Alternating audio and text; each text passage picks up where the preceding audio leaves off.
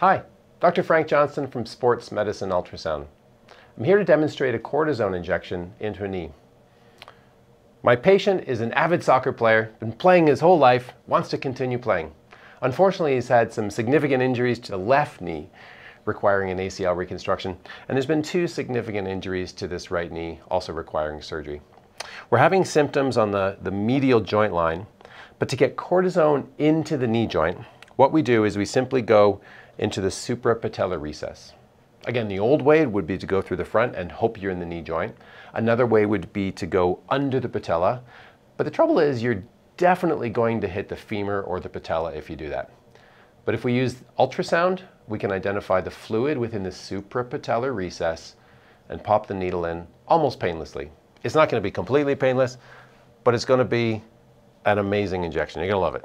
It's going to work great too. All right, so what do we see? Right hand side of the screen, patella.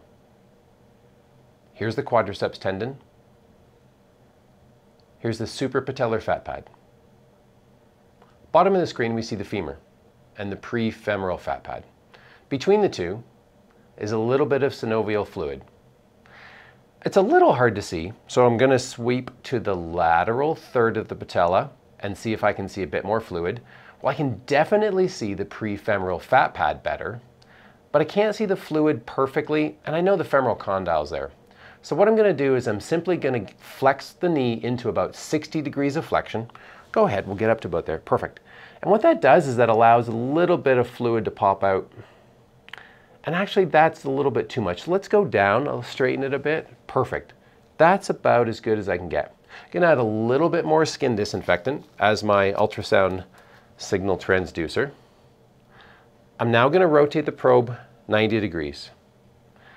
And just here on the screen, I can see the articular cartilage of the femur, and just above it, a little bit of joint fluid.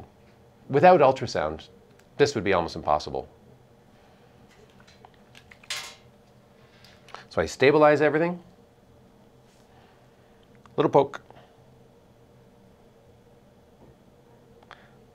pass the needle in. Now you can see my needle just there touching the lateral femoral condyle. All I have to do is make it rise just a touch above and just there. I'm actually into a fluid compartment and if I inject the fluid you can see it flowing all the way over to the right hand side of the screen. That's it.